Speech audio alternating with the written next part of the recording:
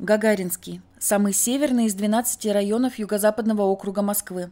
Из основных особенностей не только хорошая транспортная доступность и близость к историческому центру Москвы, но и разнообразие научно-исследовательских учреждений и памятников архитектуры. Из известных объектов стоит упомянуть красные дома на улице Строителей, которые отметились во многих художественных фильмах. Среди них популярная детская комедия 62 года «Веселые истории», а также фильмы «Конец старой Березовки» и версия полковника Зорина. Красные дома появились в начале 50-х годов, почти одновременно с высоткой МГУ, и стали первыми жилыми зданиями на территории района. Еще несколько лет после окончания строительства жители называли их домами на семи ветрах, так как в округе кроме них ничего не было. Ближайшие строения стояли у Калужской заставы, сегодня известно как площадь Гагарина. Название получили из-за облицовки. Это ярко-красная керамика с белыми вставками из бетона. Перед архитекторами стояла задача – создать типовую серию зданий, которые можно было бы встраивать в разные кварталы, ничего при этом не меняя, кроме облицовки. У каждого квартала мог быть свой цвет. Для экспериментальной серии выбрали красный. Планам по серийному строительству помешала политика борьбы с излишествами Хрущева. Помимо Гагаринского, три аналогичных дома без закрытых дворов разместили на улицах Бориса Галушкина, Кусинена и Пырьева. По замыслу, заселить красные дома должны были обеспеченные семьи с автомобилями. Для них проектировщики впервые в СССР предусмотрели специальные гаражи, являющиеся частью архитектурного ансамбля зданий. Раньше крыша гаражей была засажена деревьями и беседками. Сегодня это площадка, которая никак не используется. Сам гараж частично отдан под ресторан. S-образная форма домов образует закрытые внутренние дворы. Это озелененное пространство с детскими площадками и фонтанами, в котором не слышен шум проспекта. Квартиры с трехметровыми потолками, просторными кухнями со встроенными мусоропроводами, которые, как правило, заваривали из-за нашествия тараканов. Над арками расположены четырехкомнатные квартиры. Стоимость квадратного метра двухкомнатной квартиры в Красном доме в среднем 270 тысяч рублей. Большой московский цирк, Крупнейший стационарный цирк в Европе. Расположен у пересечения проспекта Вернадского с Ломоносовским проспектом. Цирк открыт в 1971 году. Это здание – яркий пример модернистской архитектуры и один из самых интересных и узнаваемых цирков в стране. Купол представляет собой 24 металлических складки с консолью, вес каждой 300 тонн. Имеет систему из пяти быстро сменяющихся манежей – конный, ледовый, водный, иллюзионный и световой. Это позволило обходиться без длинных антрактов. В закулисной части расположен отдельный репетиционный манеж. Зрительный зал цирка вмещает 3400 человек. С ноября 2012 года цирк возглавляет Эдгард Запашный, художественный руководитель Аскольд Запашный. Здание Президиума РАН построено в конце 60-х годов. Его масштаб и яркая архитектура олицетворяют вышедший на новый мировой уровень научно-технический прогресс и сразу отнес здание в ряд уникальных. Сегодня здание Президиума Академии наук представляет памятник эпохи советского модернизма. Золотое венчание здания вызывает много домыслов. Сложная пространственная конструкция получила в народе прозвище «золотые мозги». Внутри конструкции расположены системы, обеспечивающие работу здания. Зеркальные стекла с микронным внутренним золотым напылением преломляют и отражают свет даже в пасмурную погоду и создают эффект сияния. Часы долгое время не работали по причине отсутствия в их механизме электронных деталей. В 2017 году все четыре циферблата часов были запущены. Малый колокол часов бьет каждую четверть, один, два, три и четыре раза соответственно. Большой колокол отбивает каждый час. В малоэтажной части комплекса размещается концертный зал вместимостью полторы тысячи посадочных мест, зимний сад и внутренний двор со стеклянной галереей, ведущей к лифтовому холлу высотной части. В высотных зданиях расположены административные помещения, а на верхнем этаже смотровая площадка и ресторан, Отсутствие расположенных поблизости высотных зданий делает комплекс единственной архитектурной доминантой юго-западной части Москвы и одним из акцентов Воробьевых гор. Дом преподавателя МГУ. По адресу Ломоносовский проспект, дом 14. Архитектура дома выдержана в лучших традициях сталинской архитектуры. По общим принципам композиции она напоминает высотные здания. В боковых крыльях по 10 этажей, в центральной части 14. Квартиры просторные и не очень, с потолками в 3 метра и выше. На кухне также имеется мусоропровод. В доме есть две многоуровневые квартиры с открытой 140-метровой террасой на последнем этаже. Он создавался для того, чтобы в нем жили научные работники главного вуза страны. который к тому времени строился на Ленинских горах.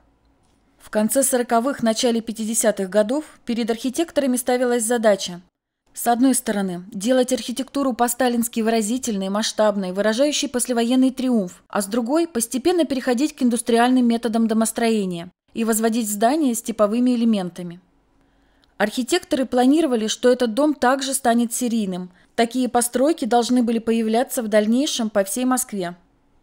У этого здания возникли два близнеца. Один из них – знаменитый дом-полтинник, или, как его еще называют, дом отставных вождей – построен на Фрунзенской набережной. Второй появился также в Гагаринском районе, как бы в зеркальном отражении на соседнем университетском проспекте. Это дом сотрудников Министерства госбезопасности.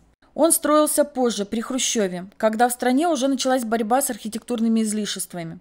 В результате создание счистили все яркие детали. Облицован он уже не керамикой, а кирпичом, и никаких декоративных элементов не имеет. Кинотеатр «Прогресс» Это здание еще один интересный архитектурный эксперимент. Перед архитекторами поставили задачу создать простой современный кинотеатр вместо тяжелых сталинских сооружений. Создали простое здание из двух имевшихся тогда в распоряжении видов кирпича – желтого и красного. В декоре фасада повторили сетку с фасада Дворца Дожи в Венеции. Окна сделали из водопроводных бетонных колец. Получились яркие контрастные элементы.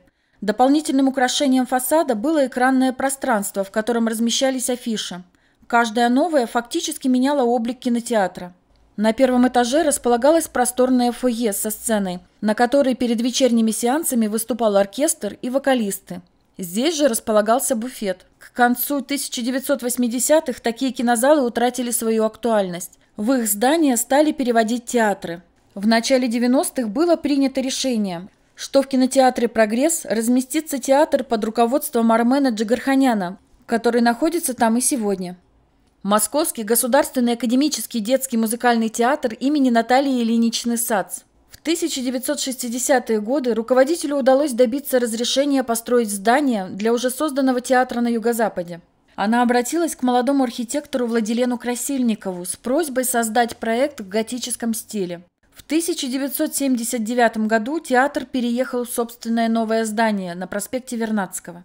Фасад театра увенчан скульптурой синей птицы, являющейся символом театра. В 2003 году, к столетию Натальи Ильиничны Сац, перед зданием театра ей установлен памятник.